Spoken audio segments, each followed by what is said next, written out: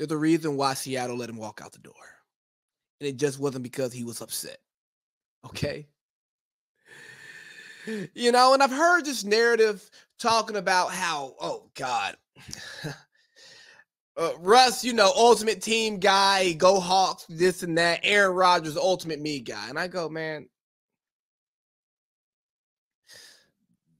the, the, way they act is one and the same to me. I just think Russell Wilson is a less good Aaron Rodgers, you know, same amount of Super Bowls, you know, uh, less MVP votes, and um, just as many uh, playoff disappointments, if we're being honest. That's what Russell does in the playoffs, for God's sake. His last playoff game, he got put out in the first round by the Rams and Jared Goff and a backup quarterback. And guess what? We think Jared Goff should be replaced next year.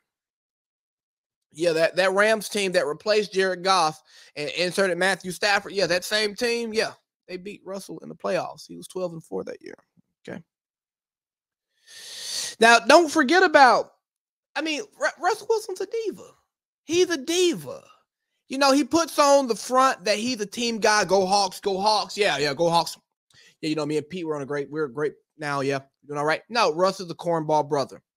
RG3 has lost the title as cornball brother, and he get pass it on to Russell Wilson. Let's be real.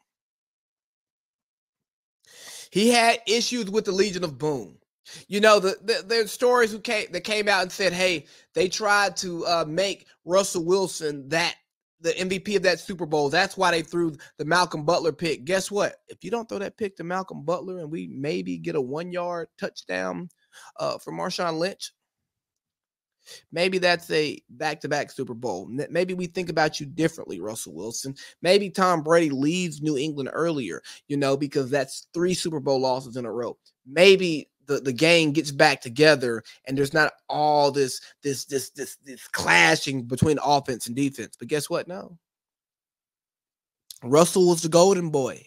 Everybody liked him. He says the right things, nice smile, very diplomatic, has a great relationship with the commissioner. Yeah, we got in Russ we trust. A lot of y'all trust in crypto. Crypto's getting killed right now, but in Russ we trust. Yeah, when it's high, it's high, but Jesus Christ. Can you get back?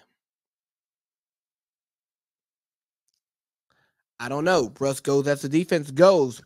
But he had his issues with the Legion of Boom. Richard Sherman called him out. Other members of that defense called him out.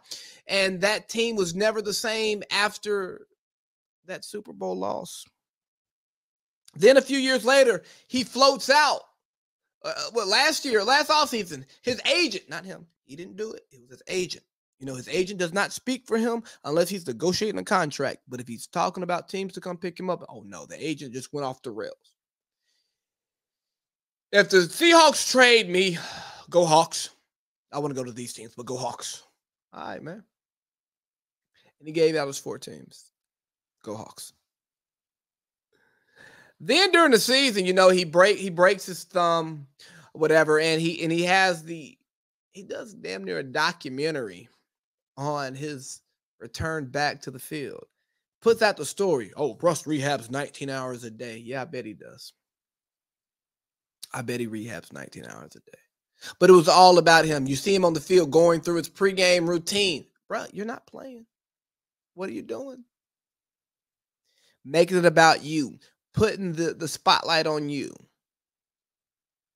So all I'm saying is if you are going to give Aaron Rodgers grief for making it about him, for for dragging the Packers through the mud, for for making them wait and sit on pins and needles only to come back and resign because you want more money. I want you to give Russ the same smoke. That's all I'm asking you to do. Just be fair and consistent with your criticism because Aaron and Russell let us down in the playoffs every single year since their Super Bowl seasons. They have.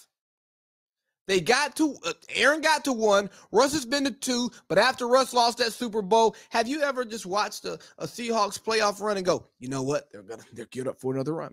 No, we haven't. We're blaming Pete Carroll and the offense that he wants to run for the lack of success by Russell Wilson. Maybe Pete knows something that we don't. Maybe Pete is an accomplished football coach, a Hall of Fame football coach, a Hall of Fame NFL coach, a Hall of Fame college coach. Maybe Pete knows more than we do. Maybe. Maybe Pete sees him every day and goes, you know what? I like it, but I don't love it. You know, maybe that's all I'm saying. Maybe you know there's a little bit like like uh what's his name? Mark Schlereth said, "Don't let Russ cook, let Russ simmer." Maybe we should just let him simmer. Maybe that's the best Russell Wilson we're gonna get because we're forcing let Russ cook. And all I've seen Russ the last two seasons, I let see I've seen Russ cook. He goes 12 and 4, wins the division, loses in the first round. Then the next year he misses the playoffs and has his first losing season in 10 years. Maybe there was a reason that NC State said, yeah, you can go to Wisconsin. Now, they, they were wrong, but maybe they're seeing some of the things that Pete Carroll saw. I don't know. But all I'm saying is don't point the fingers at Aaron Rodgers as being a diva don't take that left finger and point at Aaron Rodgers as being a diva if you're not going to take your right one and point it at Russell Wilson. We falling, big baby.